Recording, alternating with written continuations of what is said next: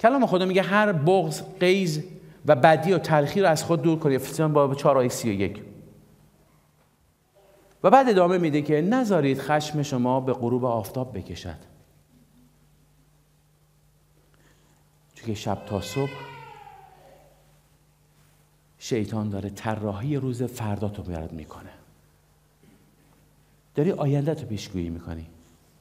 داری آینده تو می‌سازی. داری فردا تو می‌سازی.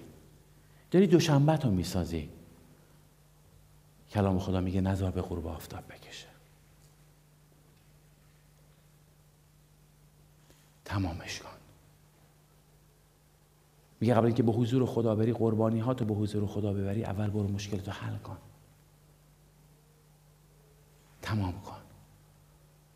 حق با کی بود حق با کی نیست شاید نتونی ثابت کنی. اما ببخش و تقاضای بخشش کن. اجازه نده شیطان در روابط تو موش بدهونه. اینطوری می‌تونی دروازه های جهنم رو ببندی. به تو اقتدار بستن دروازه های جهنم رو داده.